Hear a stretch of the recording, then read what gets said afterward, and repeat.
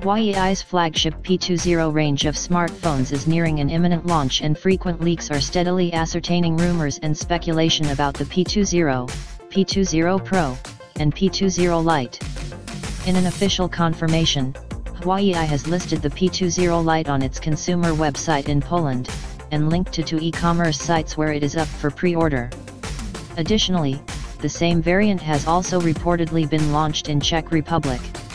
Do note that the three phones in Huawei's P20 series are expected to launch at an event slated for March 27 in Paris. Starting from the north, Huawei P20 Lite has been listed for purchase on the electronics giant's official website in Poland.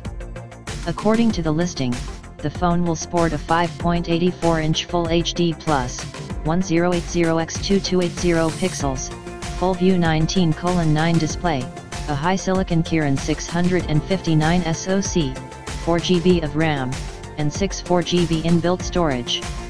The listing also mentions the presence of a vertical dual camera setup on the back, with a 16 megapixel primary sensor and a 2 megapixel secondary sensor. The P20 Lite will get a 3000 mAh battery, NFC support, face recognition, and EMUI 8.0 running on top of Android Oreo. Pre-orders for the phone are live in partnership with local retailers such as Komputronik and Media Expert for a price of PLN 1,599, roughly Rs 30,300.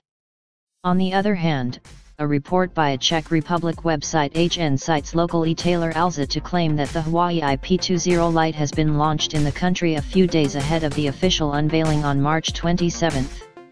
The listing mentions similar specifications as the one seen with the Poland listing, although it does specify that the price will be CZK 8,999, roughly Rs 28,300, and release date will be April 1st. The phone is said to be made available in black, blue, and pink color variants.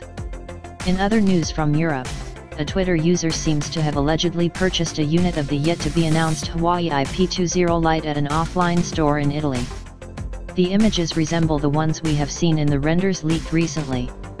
Price of the smartphone is said to be 369 euros, roughly Rs 29,500.